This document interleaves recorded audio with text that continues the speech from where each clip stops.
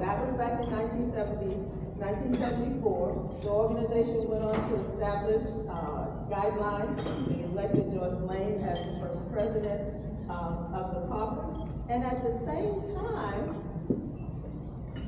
uh, Howard University was being, um, I think kind of revolutionary in starting the first occupational therapy program at the HBCU. And the person you see as the trailblazer is Naomi Rice, the founding chair of that department. Now, to the left of that is our Facebook. This was the first issue of the BOTC newsline. And most of you don't know anything about mimeograph Our Facebook back in those days, you typed it and you put this sheet in sheets of paper, and then after you got the, the part with the ink on it, you took it to this thing and you rolled it and rolled it, and you had this, I mean, manual, and that's how we got our newsletter. And the newsletter was our main way of communicating with one another. Because remember, we were only meeting at the AOTA have, we did not have mail back then, we had something called, what, snail mail. Now, in nineteen, in nineteen seventy, in the nineteen seventies, let me just read what I wrote over my screen. Um,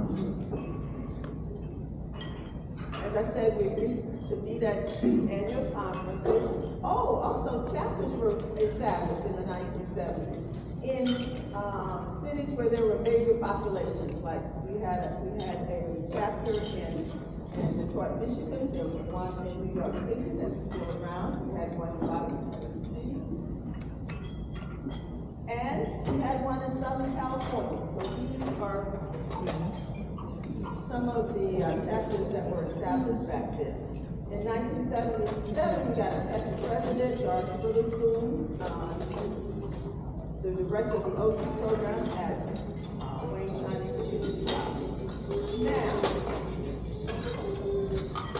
how much do you think these was in nineteen seventy-nine?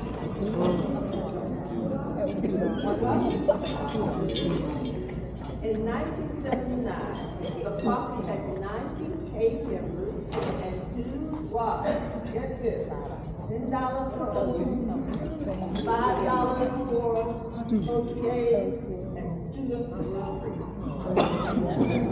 Also in the nineteen seventies, Gila Loren, Wimberley Edwards, and Dottie Wilson are named as AO, named to the AOTA roster of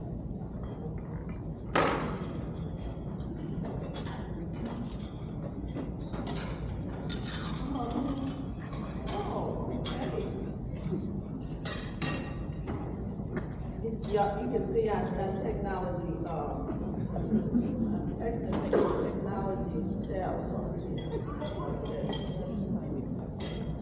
During the nineteen eighties, some of you will remember Eloise Strand, who was, um,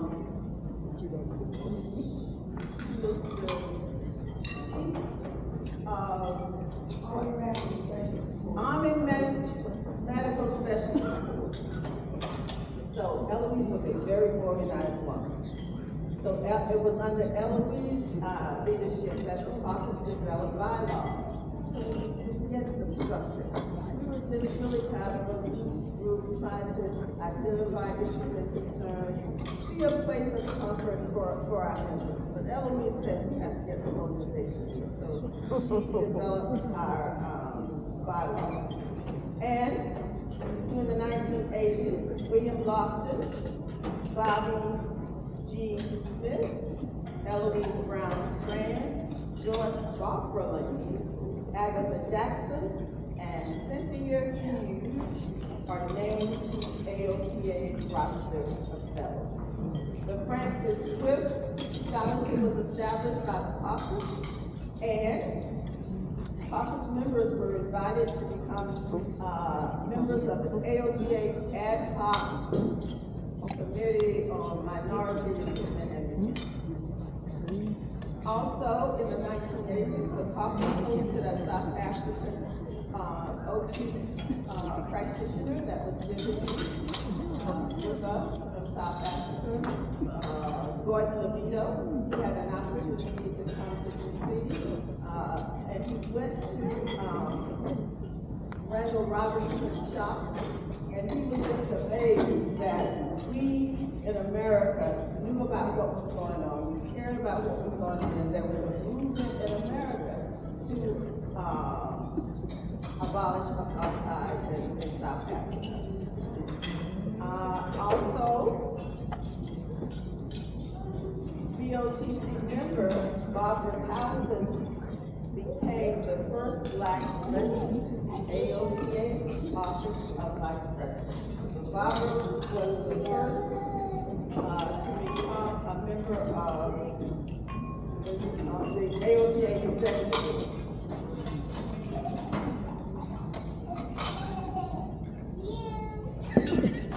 Okay, let's move to the nineties. Um,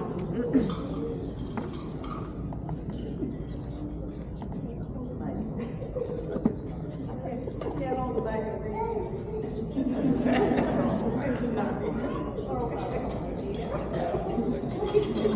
Okay, let's see, um, members of, uh, BOTC were asked to become, as I said, to become a part of the Minority Affairs Program, and AOTA established the Minority Minority Affairs Program, and one of our members became the first Minority Affairs Program manager. Brian Gibbs, that's Brian on the right, to the left is him, is Cheryl Strickland. Cheryl was, uh, once the, the uh, secretary for, for BOTC. And in the nineteen nineties, we established our libation uh, commission, and that was under the leadership of Saburi Imara. And how many of you are wearing your kente strips tonight? Those were the idea of Wimberley Edwards, and they were, um, instituted at our twenty-fifth anniversary. Wimberley had a friend who was from Ghana. That friend designed those, uh, strips, and the emblems on, the emblems on there represent, um, health, not necessarily occupational therapy, because occupational therapy is not a, a main or profession in Ghana, but it represents health and healthcare. So this is, uh, this is our twenty-fifth year of having those, uh. And Dr. Lela Llorens received the AOTA President. Lou Robinson.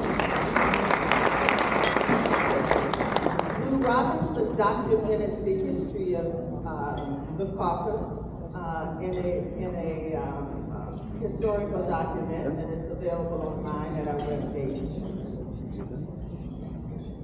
And BOTC, uh, became a part of the multi, Oh, okay. You're done? Oh, Multicultural Affairs Committee at the time. Now it's called MDI, MDI stands for, Multicultural Diversity, Diversity and Inclusion Network. thank you. Now, the woman standing at the podium at the Hyatt, that is the Denise Claiborne, and behind her is her husband Tyrone. They were the first to sponsor Roof Top. So our first roof was in nineteen ninety-five in Denver, and it was because of this couple that we were able to do that. And interestingly enough, he was a businessman. But when he came to the caucus meetings, and he came, uh, a couple of times, he decided that he wanted to be in the team. Was really fired up about it.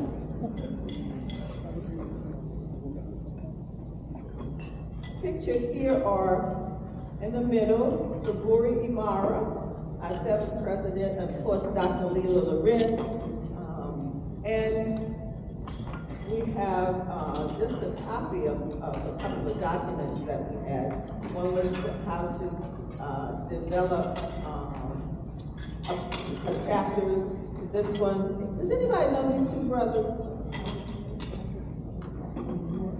They came to our meeting in Denver and I haven't seen them since. I don't know what happened.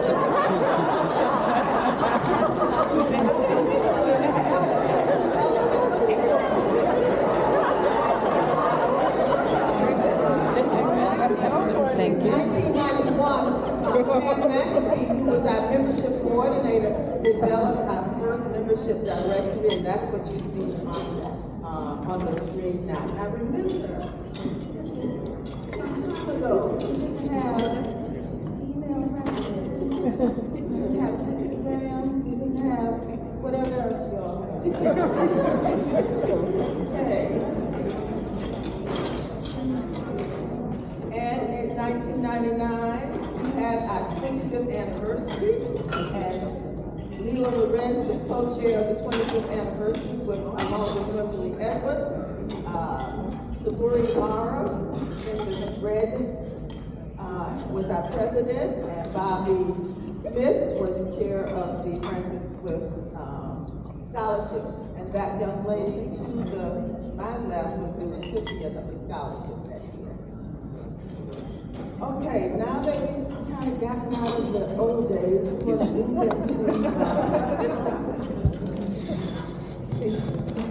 into the millennium. Now, we move, uh, Karen, Karen Parker Davis is pictured here with, um, Sarah Alexander, who was our, our president, vice president, term president, term president, uh, and they are pictured here with the recipient, one of the recipients of the scholarship. Um, I don't know why Nadine is up in the nineteen, in the twenty twenties, I mean, in twenty tens, but that's Nadine Quebecu, and she was a student at Towson who came to one of our meetings, she was really fired up, the young lady went back to Towson and started a BOTC chapter. She also was, she's also a founding member of, of, what is it, Christopher? Hotel. Here we have, um, our dear friend Lisa Mosley, who was our mentor, uh, champion, coordinated our mentor program. We lost, uh, a few years back, but Lila is one of the, uh, one hundred, she's listed in the one hundred, uh, most influential, uh, OTs. And also, we have here again, Karen, after being president, she chaired the, the, um, scholarship committee, and she and Sarah are presenting the scholarship to, uh, one of our recipients. And in two, in the early two thousands, Saburi Mara, Shirley Wells, Jerry Bentley, Lisa Mosley, Leslie Jackson, Son, uh, Sandy Dunbar, Kathleen Conyers Hampton, all are named to the AOTA roster. Okay, now to get to the twenty, even to the, we're really into the twenty-first century now. Uh, we had our, let me back up. In the nineteen twenties, early twenties, we did, uh, have a, a landmark. We had our first male president that was elected to the office, and that was, uh, William Dees out of New York.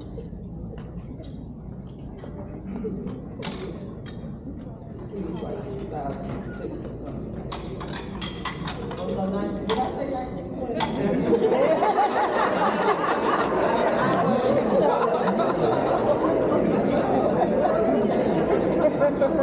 Picture here, oh my goodness. Nikki, Nikki did these slides for me, so thank you, Nikki, she saved me. I've had so many students working on these pictures and slides, I have a hundred pictures, I didn't know how to do any of this, so bless you all. Um, so we have here, um, Oh, you get see a picture of our, our uh, booth for this year. If you haven't been by, you get a chance to come by, um, tomorrow for the last time, so come by and check us out. Also pictured here, if you see that BOTC sign, twenty nineteen, that is really one of the pivotal moments in our history. That's when a whole new generation became leaders in the politics. And that new generation is the reason we are here tonight. It was their vision to celebrate this fifty-year anniversary and to do it in this fashion. They allowed me to tag along in the process. They uh, tolerated my ancient remarks. They've been very gracious with me. But I am just so excited to have these young people heading the organization. Because in them, what we have are individuals who are dedicated to the growth of the organization. Mm-hmm. They are committed young people. They sacrifice their time, their energy, and their money to get us to this point. They are focused. They understand the importance of this work. They respect those of us who have contributed to getting us to this point. And I would like for the following people to stand. And then I'll be done. My five minutes up? I don't want to be like Meyer. So, uh, would all of the current EOTC officers please stand? So we can give you a round of applause.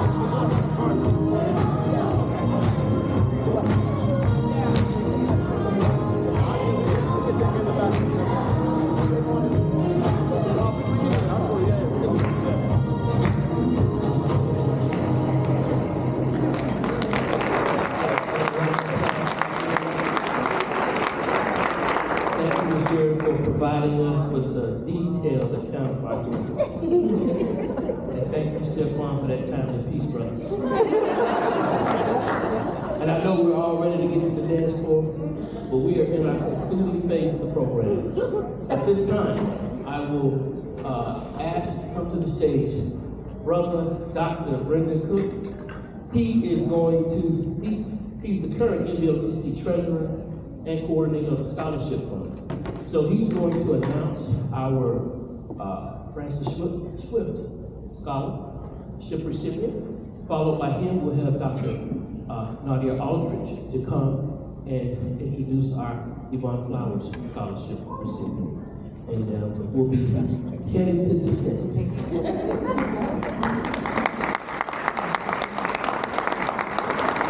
evening, everybody. Um, first and foremost, if you all don't mind, I'm just going to get off script for just two seconds. I just want to say thank you to everybody here in this room.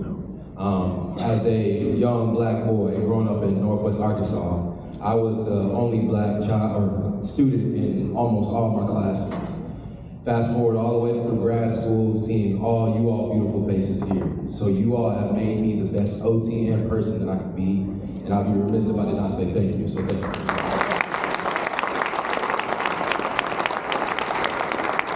Have the honor and privilege of announcing the Francis Swift Scholarship Award recipient of the 2023 year.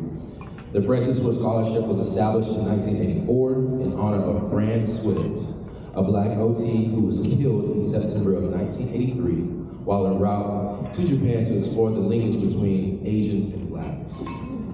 The scholarship process this year was very, very rigorous. Um, first and foremost, I also want to say thank you to the scholarship committee as well, because obviously I could not do this without you. We had a lot of applicants apply, amazing students, but we were able to find one great student. This student is named Gina Samuels.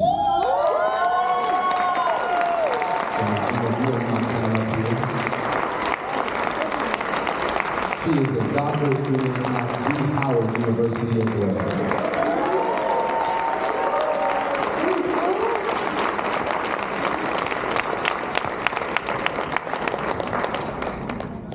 Good evening, everyone. My name is Gina Samuels. I'm a level two doctorate student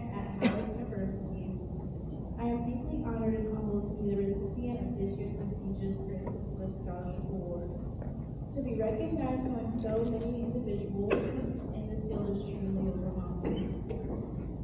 First and foremost, I want to express my heartfelt gratitude to the National Black Occupational Therapy Congress and the Scholarship Committee for this incredible. The recognition of my work means more to me than I can put into words. My mother always told me, "You what you sow, and I'm truly beginning to understand the meaning behind that statement. My hard work and dedication is finally paying off. I also want to thank my amazing faculty. Without you, none of this would be possible. Your tireless dedication, brilliance, and camaraderie inspires me every single day. This award belongs to all of us. To my mentors and my colleagues who have guided me and supported me through this journey, for generously sharing your wisdom and experience. I'm forever grateful. And to my family and friends back home, your unwavering love and encouragement mean the world to me. Thank you for everyone for being for, for good our foundation. In closing, I am deeply moved to receive the Francis Swift Award. I will strive to uphold the values and legacy that it represents. My commitment to advancing our field positive impact only grows stronger. Thank you again from the bottom of my heart. I am truly blessed. Have a wonderful day.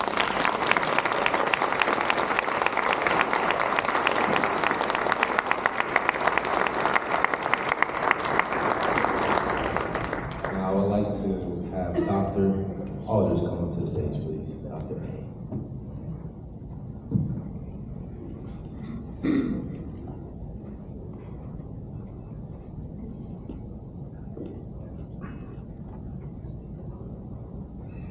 Good evening, everyone. Well, I'm going to Nikki Demas to join me. And while she makes her way up here, I am Dr. Nardi Aldridge, President of the South Florida Black Occupational Therapy Caucus, former President of the New York State Black Occupational Therapy Caucus, and the Regional Coordinator for the Eastern Region. And I have here with me my colleague, Nikki Demas, who represents the Western and Central regions. And on, in your agendas, you may see DTM as one of my credentials. It means don't tie me. no, it doesn't. It means distinguished Toastmaster. If anyone who's, what's that? Distinguished Toastmaster. But we make a joke that it means don't tie me. Was established in 1996, as Ms. Gerald mentioned, in honor of Yvonne Flowers. The award is presented annually to state chapters that actively contribute to the National Black Occupational Therapy Caucus mission and vision. The first award was given in 1996 at the NBOTC meeting in Chicago. To qualify, the chapters must submit an annual report to the NBOTC have bylaws in place, and implement one or more service-oriented activities per year, which may be in the form of guest lecturing, providing or participating in student scholarship fundraising, mentorship, recruitment, etc.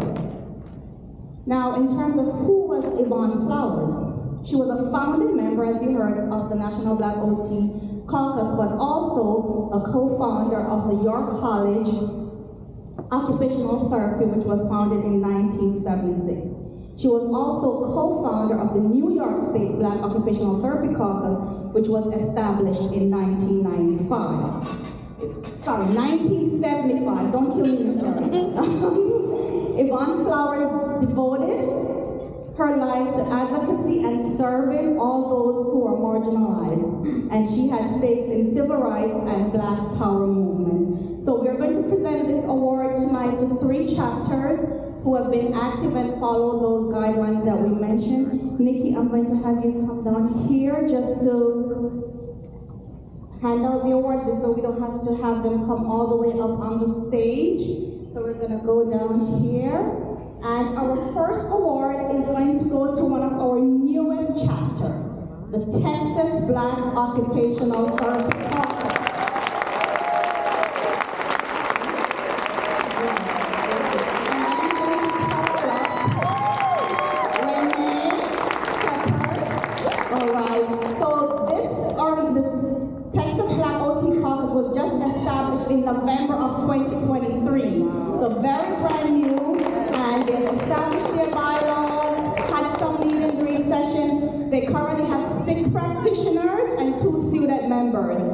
They've established a social media website, social media page, as well as a website. They're on Instagram, Facebook, and LinkedIn, so please look them up, join are from the Texas area, and support the organization. Thank you. Congratulations. Our second recipient is the South Florida Black Occupational Therapy Caucus,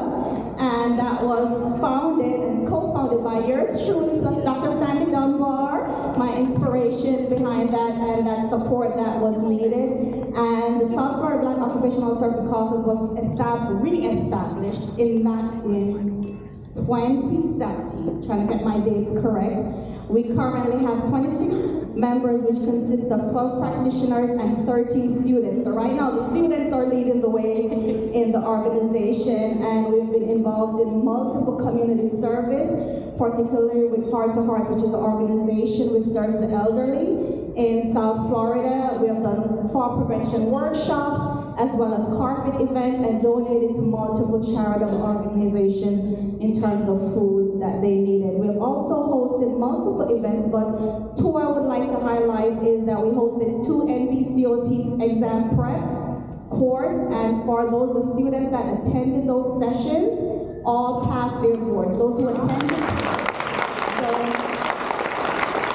it was effective, and one of the, one of the goals of the organization is retention, not only retention, but increasing that registration rate of our students and practitioners. So we want to make sure that, yes, we get our students through the pipeline, but also that they are passing their boards and becoming practitioners to serve the community. And we also presented the Sandra Dunbar Sandra Dunbar Leadership Scholarship in February of 2024, which we did this year, and we had a Black History Month brunch where we were able to celebrate with each other and do that. So I would like to invite, well, Andre is here and Lakeisha, treasurer.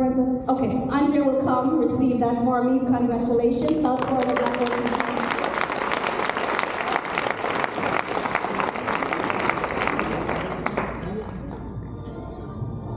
And last but not least, we have the New York State Black Occupational Therapy Caucus, which, which was established in 1975. So immediately following the establishment of the National Black Caucus, the New York State chapter came about, and this organization has been active since day one, continue to be active. They are currently at a membership of 96 members for the New York State OT Caucus. That is awesome. Congratulations. They've held multiple community service events as well as speakers and done lots of walks and everything. And I have here one thing I wanted to highlight is that they had a brunch and bottomless mimosa fundraiser. I wanted to be at that one, but couldn't have that. And they fundraises, fundraised $500 for that. But for the Dolores B. Chandler Scholarship, which they prevent,